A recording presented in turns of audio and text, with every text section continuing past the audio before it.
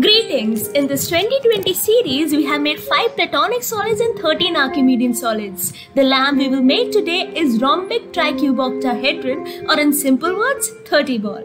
So let's make it first and discuss about it then afterwards.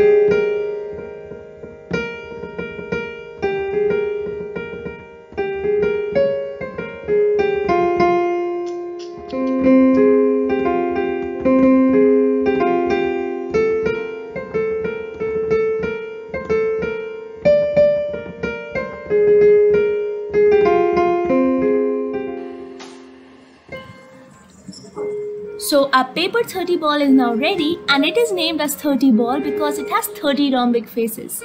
You can observe these rhombic faces. The distance between the diagonals is in golden ratio. You can see that. Before this, the 5 platonic solids and 13 Archimedean solids we made had same vertices, but the 30 ball we have made today has two types of vertices. One where 5 rhombic faces are meeting and another where 3 rhombic faces are meeting. These types of solids are called Catalan solids. These are the duals of the Archimedean solids we made and they are also 13 types. So the 30 ball we have designed today is the dual structure of this icosahedron. Duals means that if you join the midpoints of all these faces you can see, then we get a rhombus here. And if we join here again, we'll, we'll get a rhombus here too. If we join the mid faces of this, you, this structure, we will get a triangle here and a pentagon here. So from this structure, we can get this and vice versa because these are dual structures. This dual structure can be made from a dodecahedron also. If we make pyramids on all the faces of a dodecahedron and uplift the heights so the triangular faces come together in a plane, we get 30 ball. And you can see that here is a pentagonal pyramid also. When one pentagonal pyramid meets the other, this here becomes a rhombus as they come together also. Then they form a rhombus.